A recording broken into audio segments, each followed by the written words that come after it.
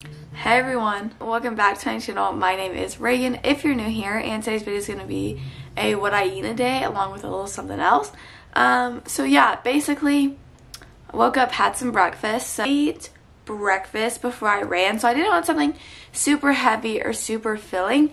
Um, because I ate like right after I woke up, so around 7.15ish, and then ran like 30 minutes later and lifted after that. So I just had a bowl of vanilla Greek yogurt and some chocolate granola.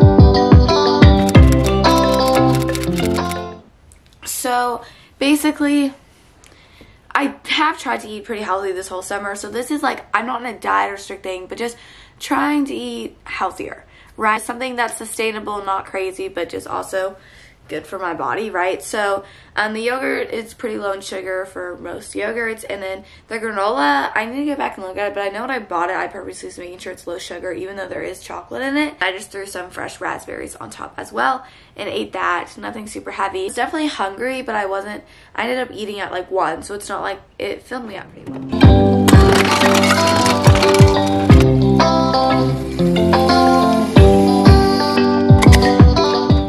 Lunchtime. I have no idea what I'm eating or making or food we have. I'm gonna see what we have and then make something with that, I guess. I don't know. We'll um, so we don't have any sandwich bread, like at all. No wraps, because I normally have like big tortilla to make wraps. Um, no frozen pizzas. Literally nothing. So we might have to pick something up. I don't know. I'll go talk to my mom. But I'm trying to think because we literally Okay, um we literally have no food kind of at a loss here. Okay, we're trying to figure out a place to like pick up food from. But I have Panera multiple times a week in this movable place.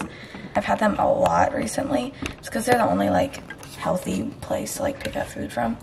So then for lunch, sorry I got like very little clips of this, but we had Jersey Mike's. And so I got the bacon ranch chicken cheese steak sandwich, hot one. So it just has like bacon, lettuce, tomato, white American cheese, ranch dressing, and chicken.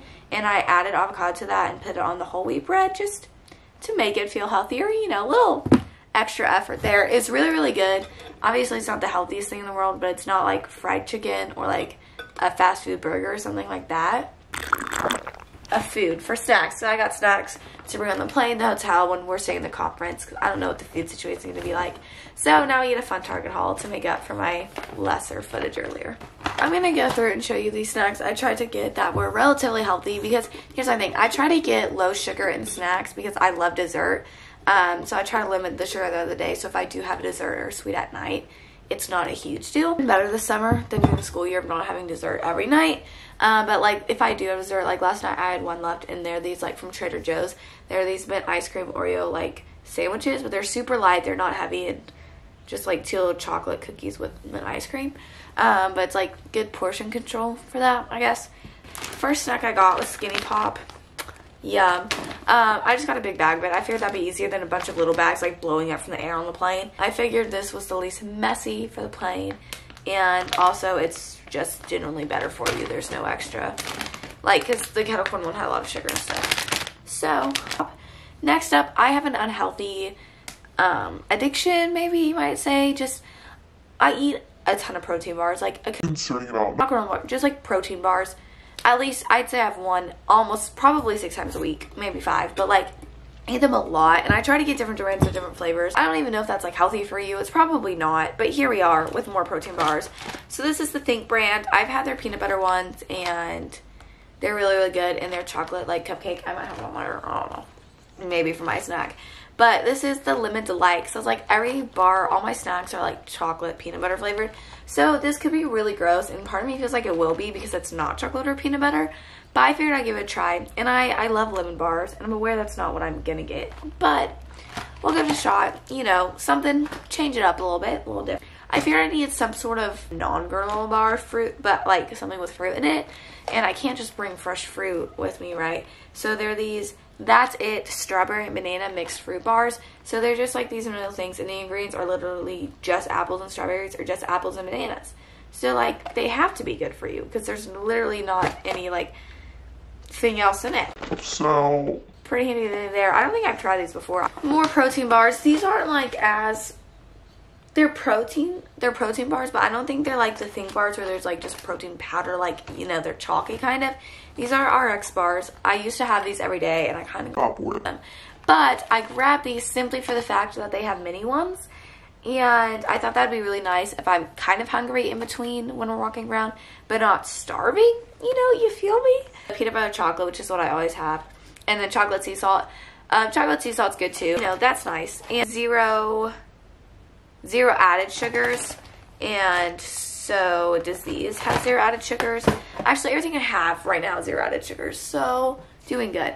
Then the last snack i got something a little savory. So a little weird not gonna lie but i've had them before and they're good. I what i remember leave a little odd aftertaste which means you just keep eating them, which is probably bad, but they're actually pretty good. Snaps, red lentil snack crisps, tomato and basil. Just something to mix up the palates, you know, do a little variety of flavors. So for my snack, it is 4.30 and I'm having a think high protein bar. Um, shocker. So this is the chocolate and cream cupcake flavor. It looks like. Um, this one is a little bit higher in calories and it's two grams of sugar, so not like a concerning amount, but like compared to the other flavors. More in a dessert mood, you know, it's always a good one, right? Like this. It is a little dense to chew, but it's not super chalky because there's like layers, um, if you can see that. Um, so there's like a frosting flavor and then like I guess the cake layer, but it's like the protein bar aspect of it. Um, okay, so for dinner we had steak tacos. So my mom just kind of like had the tortillas and everything out, and we just added what we wanted. I had corn tortillas, and then the steak had some really yummy sauce on it, and then we do feta, tomatoes, and avocado. And I ended up having three of those. I did my third one on flour. Not as good, but the corn were falling apart. So that's that. Relatively healthy. You know, definitely not bad for you. It's not the healthiest thing ever, but still pretty good. Definitely filling. And then we went and swam. After I swam, you know, wasn't super hungry, but we've swimming. We were in the pool for like an hour. I wanted some ice cream. So what I'm about to show y'all, it was, it's like this healthy ice cream.